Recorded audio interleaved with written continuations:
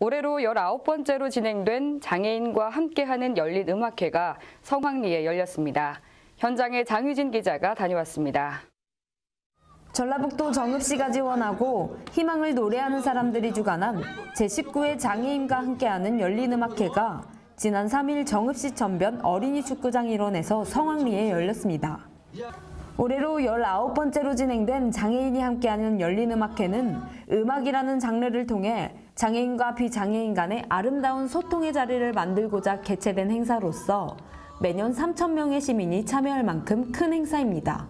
이날 공연은 가수 강원래, 장애인 퓨전 난타 WNW, 트로트 가수 방서희, 바이올리니스트 강명진, 장애인 인디밴드로 이루어진 흰호사팀 등 다양한 장르의 장애인 예술가와 비장애인이 하나 되어 뜻깊은 공연을 선보였습니다. 예, 우리 장애인과 함께하는 열린 음악회는 벌써 19번째를 맞이했는데요.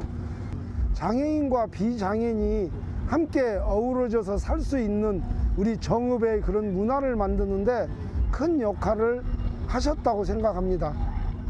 코로나19 여파로 인해 무대에 설 기회가 부족했던 만큼 출연진들의 열정적인 퍼포먼스가 대중들의 눈길을 끌었습니다. 매번 열린 음악회를 준비할 때마다 이 장애인과 함께하는 열린 음악회가 장애인과 비장애인이 타별이 아닌 어떤 어울림이 어울림이 되기를 기대하면서 이 행사를 준비하고 있습니다.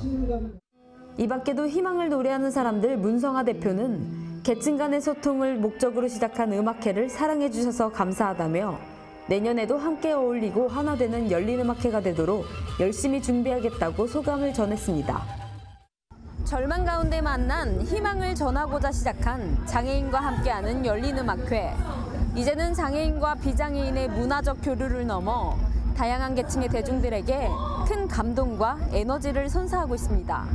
복지TV 전북방송 장유진입니다.